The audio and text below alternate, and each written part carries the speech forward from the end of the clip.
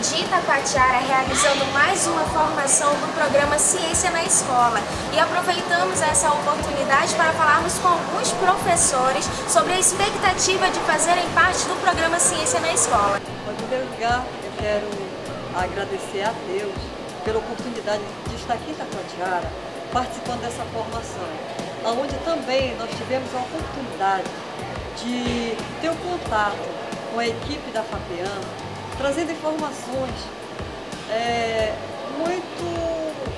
preciosas para nós que desconhecíamos.